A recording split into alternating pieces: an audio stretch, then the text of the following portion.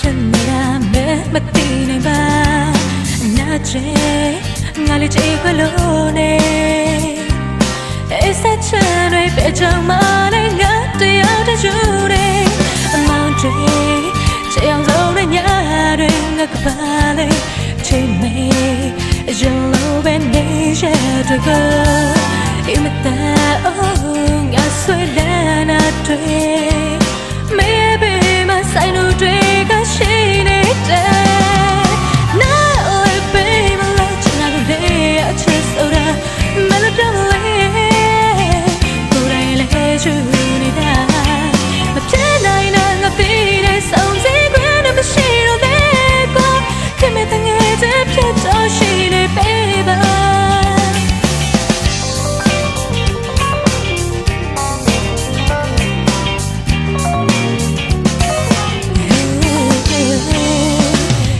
အ